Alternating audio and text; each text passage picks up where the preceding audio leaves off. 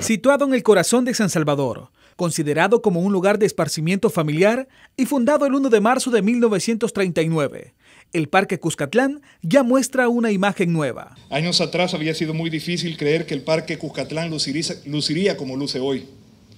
Este espacio ahora será un orgullo para nuestro país al ser un lugar que contribuirá a la prevención de la violencia, donde se promueva la educación, la cultura, el deporte en sus diferentes disciplinas y además será un detonante para la inversión para esta zona. La intervención en el Parque Jucatlán ha requerido de una gran inversión, de la cual 10 millones de dólares provienen de la Fundación Howard G. Buffett, 7.4 millones de USAID y 4 millones de la Municipalidad de San Salvador. In the spirit of partnership, En our foundation would like to el announce de, our eh, renewed commitment to San Salvador's continued development renovamos and to nuestro this compromiso para continuar desarrollando la ciudad específicamente So we're este announcing.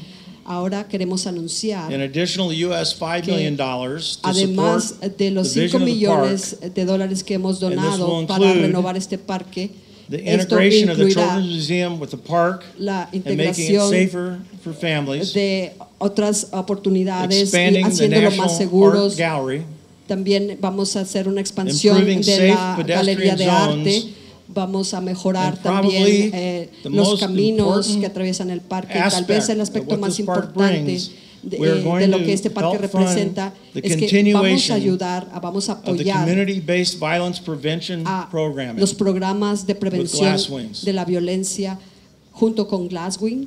La embajadora de los Estados Unidos en El Salvador, Gin Mays, se mostró agradecida por una nueva donación económica que anunció Howard Buffett para el país. Me encanta cuando empezamos un evento para celebrar algo y ya estamos anunciando más apoyo que viene.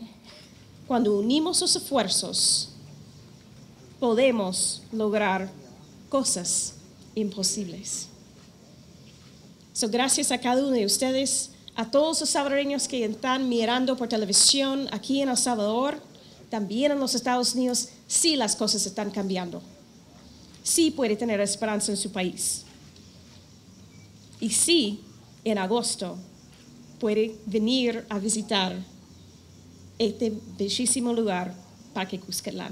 Para el presidente de El Salvador, Nayib Bukele, este tipo de donaciones económicas son importantes porque ayudan al rescate de los espacios públicos. Es decir, esto es prevención de la violencia por excelencia, la recuperación de espacios públicos. Este lugar va a estar abierto en la noche.